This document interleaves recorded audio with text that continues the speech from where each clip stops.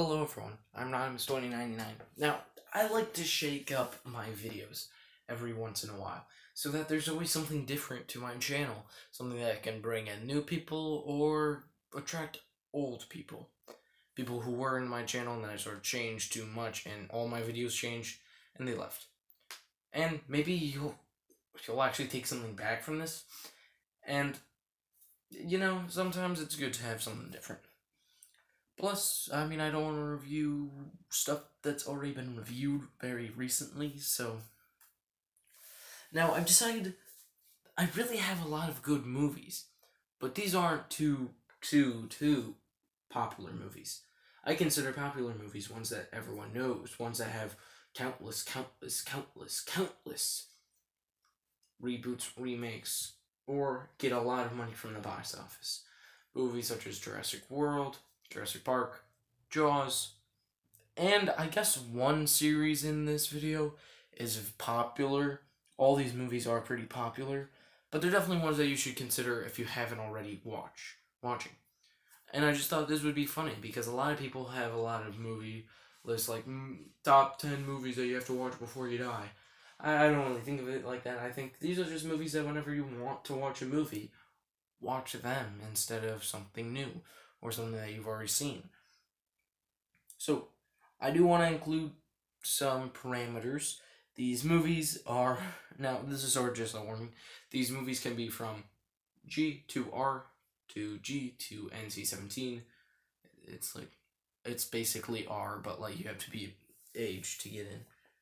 So, just kicking off the list, I kind of just want to say these are movies that I personally like, and they aren't the most popular movies or enjoyed by a lot of people. And this is definitely not my uh, top top thirteen favorite movies. Uh, this is not it.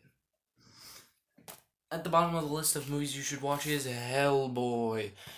It is a movie about Hellboy, um, and it has one of my favorite actors in it, uh, Ron Perlman and um, Doug Jones.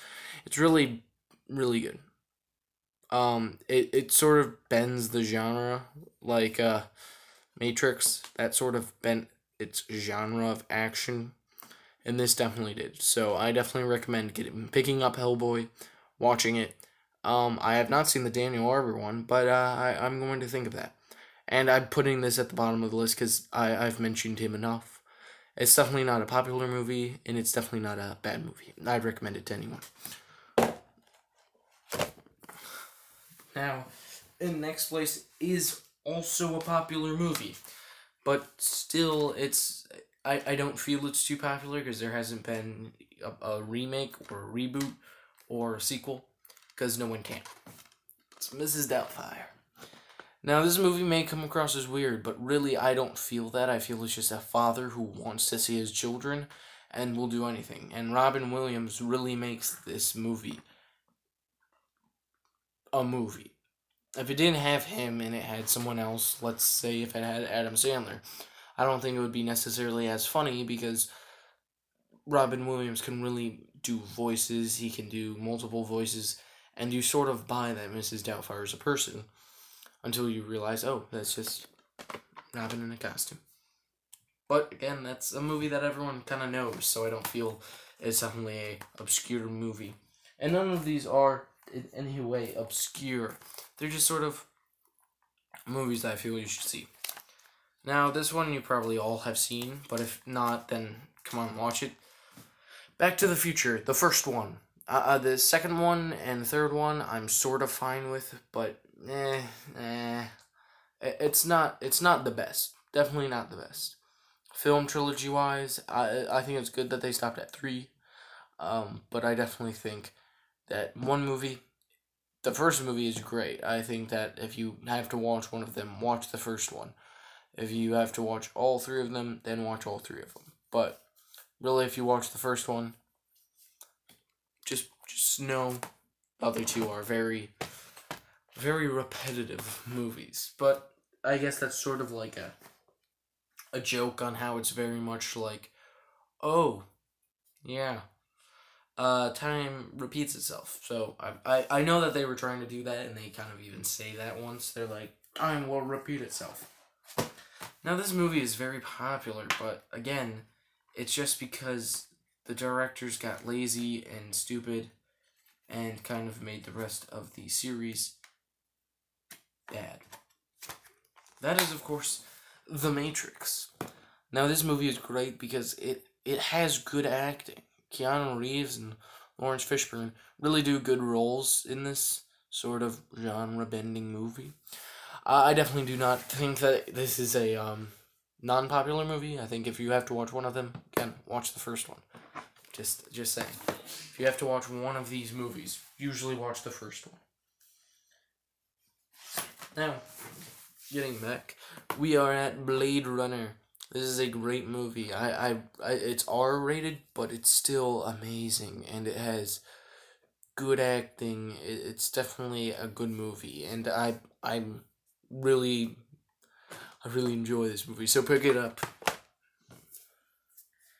Next is also a sort of known movie, but um, I don't feel it has enough of the popularity that it deserves. Treasure Planet. This is such a fun movie. I just love kicking back whenever I need to watch a animated movie. I watch this one because it's fun, it's cool, it's creative, and it, it did its job. It it it was a fun movie for how long it was. And I'm not starting, I'm just trying to think of what, I, what I'm to say for it. Next is sort of a movie that I don't consider obscure. I just feel that more people have to kind of watch it. It is the movie Signs. Um, it's a great movie, and by all means, I think that this is one of M. Night Shyamalan's best at his peak his peak performance, his best. He did Sixth Sense. He also did Unbreakable and the new movie Glass. And uh, he's had some bad movies. Uh, After Earth, Airbender. Some I don't. Some I don't want to mention because they're that bad. They're they're pretty bad. But this movie really shows the best out of him. So definitely, if you haven't watched it, it's a little scary. It's PG thirteen, so I don't think it's that bad. Now, my final movie is sort of. It feels very obscure to me. It feels obscure to me. But I, I really do like this style so much that it's okay with me. You're probably wondering what is that style? Now, one of my favorite movies of all time is Hitchhiker's Guide to the Galaxy. And it's because it's alien work and the puppetry and the costumes are all fantastic, are all on fire. And I like a lot of work like Pan's Labyrinth, Hellboy, because they have elaborate costumes. And that's at the time where they didn't have as much CGI as we do now, where um, nearly Avengers Endgame Infinity War was CGI. It was more than 95%, which I don't think that's good. Um, because this movie has a little bit, and it does have some, but I definitely think that it has a little bit. And that's The Fifth Element. Now, the costumes in this are great. Now, it's a very confusing story and very long story, and it's kind of stupid. Um, but it's high voltage fun. It's it's like if you were to just have like be really like tired and want to write a story, and you write this story, but you're also incorrect. Um, it, it's a fun story. It's a fun movie. By all means, I'd say watch it. It's on Netflix, and it has really a lot of cool designs to it. Definitely, if you're looking for a action movie, you watch that one. These are just sort of my movies that have faded into obscurity, um, and which ones you should wa- watch.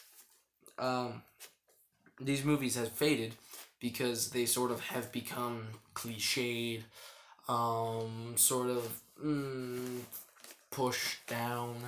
Um, the Matrix was a great series until the second one and the third one really came out and sort of made the movies just drag on too much and be terrible. Um, and with Back to the Future, it was repeating itself with Hellboy. Uh, we won't see one for probably another 15 years or so. So, that that's all I really have to say about um this about this topic of obscure movies. Uh, I don't like it when movies become kind of obscure and into sort of genres. Um, because uh, you know it, it's all right. I definitely think that if your movie becomes obscure, it's it's all right. Some people will like it. Some people still will, and that's all I really gotta say for right now. Stay tuned for tomorrow's video, and as always, I'll see you in the next video. Hope you enjoyed this sort of a weird, different style video. Anyway.